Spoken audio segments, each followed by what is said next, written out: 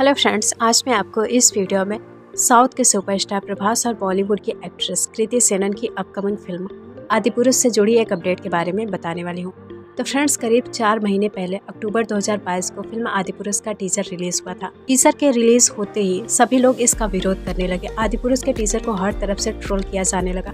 लोग social media पर पीएफएक्स का मज़ाक उड़ाने लगे।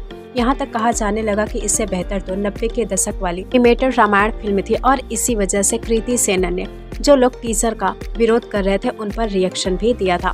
कृति सेनन ने मीडिया के साथ बातचीत के दौरान बताया, ज़ाहिर सी बात है कि लोगों के रिएक्शन से हमें परेशानी हुई। क्योंकि हमें उनकी उम्मीद नहीं थी।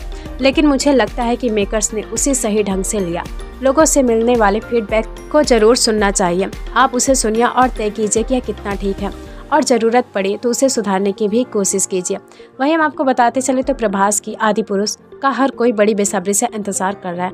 हालाँकि आदि पुरुष के अलावा प्रभास की दो और ऐसी फ़िल्में हैं, जिसके लिए फैंस काफ़ी बेताब हैं। दरअसल उस मामले में केजे फ़िल्म के डायरेक्टर प्रशांत नील की सलार और डायरेक्टर नाग अश्विन के प्रोजेक्ट के मूवीज़ शामिल हैं।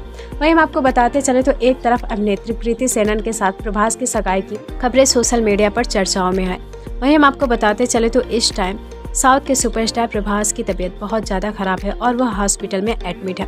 लेकिन फैंस को काफ़ी ज़्यादा उम्मीद है कि प्रभास जल्द ही अपने काम पर वापसी कर सकते हैं। आपको बताते चले तो आदि पुरुष को बॉलीवुड की अब तक की सबसे महँगी फ़िल्म बताया जा रहा है। फ़िल्म का बजट 500 करोड़ है। इसमें प्रभास के साथ कृति सेनन और सनी सिंह भी अहम किरदार में है। फ़िल्म का निर्देशन ओम राउत ने किया इससे पहले ओम तानाजी जैसी सुपरहिट फ़िल्म बना चुके हैं।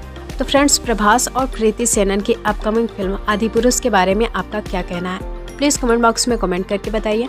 और इसी तरह के वीडियो को देखने के लिए मेरे चैनल को लाइक, शेयर एंड सब्सक्राइब ज़रूर करें। मिलता है नेक्स्ट वीडियो में। Bye bye.